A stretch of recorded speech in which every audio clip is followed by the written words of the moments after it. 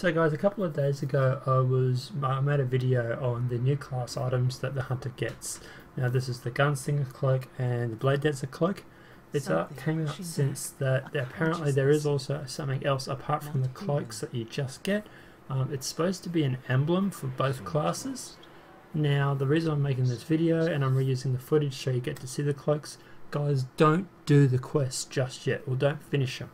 The reason why I'm saying that is because at the end of the day there is supposedly an emblem that you get for those classes and apparently there's more to do on the quests than what I've already done. So I'm not sure if I'm going to be able to go back and, and finish off these new parts of the quests that haven't been up yet um, that aren't available until Tuesday uh, to get the emblem or if I've gone through and stuffed it up so to speak and uh, and ruin the chance of getting the emblem. So what I'm suggesting to everybody is just hold off doing the quests. Don't finish them just yet, um, just in case the chance that you miss out on the emblems. Um, now I've stuck the two cloaks in here so you get to see what they like.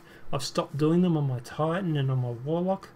Um, just on the off chance you can't get the emblems for those after you've completed them. But guys, simply put, don't do the quest, leave the quest, leave it till Tuesday. At least that way the new ranking system will also it'll help you get up to level 40 um, and, and then obviously be able to get the emblems as well.